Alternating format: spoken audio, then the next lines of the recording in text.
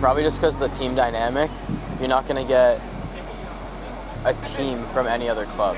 You're going to get the showcase players that want to play for themselves to get recruited, and I feel like with HGR, we, we play as a unit.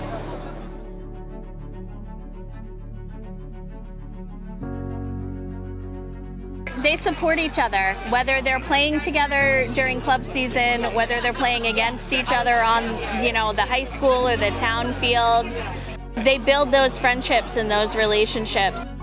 For us, this program has been really beneficial for my daughter and just seeing the growth that she's had and also the big smile on her face every time she comes to practice and at a tournament or a game. So I definitely have nothing but good things to say. Uh, I think accountability and taking ownership, uh, one of the things that we talk about with the high school kids a lot is that they, they are kind of in charge of their, their journey here and that we're not going to do things for them. So, and not that we don't want to deal with parents, but we want the, the young men to kind of take ownership over their journey here. And that is something that's going to help them well beyond the lacrosse field uh, as they get into college and then into the professional world, just taking accountability and ownership over their own actions.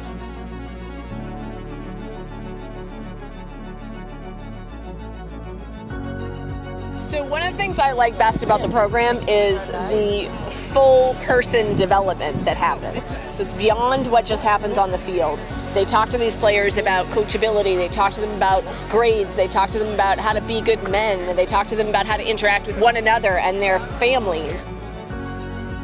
So it's just been beyond what happens on the field, has been the immeasurable benefit to being part of this program.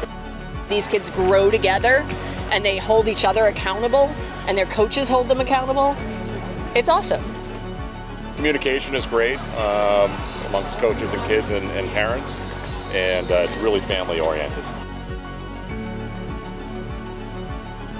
It's like a family with all the coaches. They all get to know your son or your daughter.